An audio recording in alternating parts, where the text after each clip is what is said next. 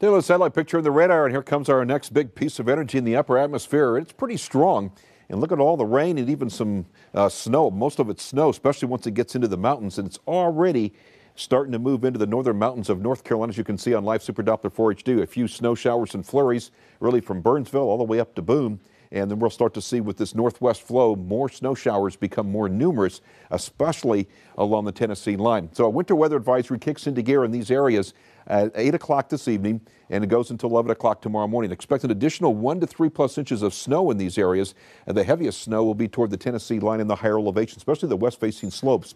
So with this piece of energy comes in with the northwest flow, it hits that uh, western mountains in the top. You can't go up and over so you could see, easily see three to six plus inches of snow before it's all said and done by really noontime tomorrow. So active alerts there's the alert mode because of this advisory which starts at 8 o'clock this evening. Don't expect any precipitation though outside of the mountains at best, maybe a flurry for the northern part of the upstate late tonight, early tomorrow morning.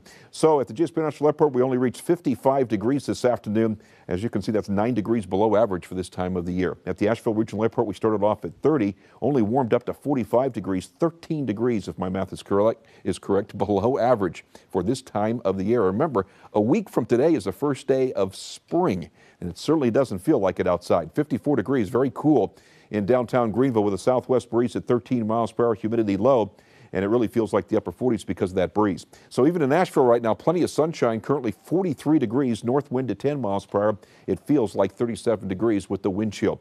In Spartanburg right now, it's 52 degrees, low humidity, a southwest wind light. In Anderson, sunshine, currently 54 degrees, a west wind at 17 miles per hour, humidity only at 28 percent. 39 already in Cullowhee. You can see how cold it is, especially in the mountains and even in through northern North Carolina. It's only 47 in Raleigh, where they had about two or three inches of snow yesterday.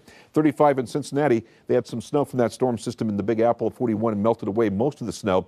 Different story, though. Look at Boston still with a blizzard warning continuing for the next several hours anywhere from 10 to 20 inches of snow in and around the Boston area before it ends after midnight tonight. Tomorrow in the upstate, still unseasonably cold, but at least we'll have sunshine and increasing breeze out of the west northwest tomorrow afternoon. In the mountains, unbelievably cold and windy, upper 30s. That's it for highs.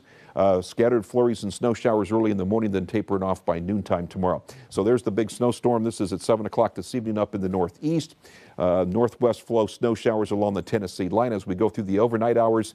Still a pretty good batch of energy coming in, especially early tomorrow morning in those North Carolina counties that border along Tennessee, and then everything starts to lift off to the north. Northwest flow starts to back up a little bit, and it's still going to be unseasonably cold tomorrow afternoon. Tonight in the upstate, low 31 degrees, breezy at times with mostly clear skies for tomorrow. Even with sunshine, very breezy and quite chilly. High temperature only in the upper 40s uh, to uh, upper 40s to low 50s. Northwest winds at 12 to 20 miles per hour. Four day plus looks like this.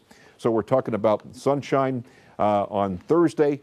Otherwise, very windy conditions, as you can see, but at least it'll be milder in the afternoon, high 66, even milder yet on Friday, high temperature 71.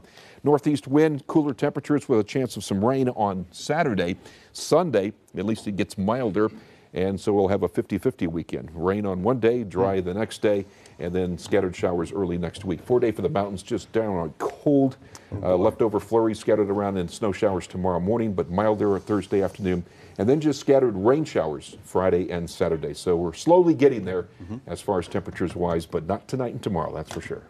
All right, Sean, thanks. Okay.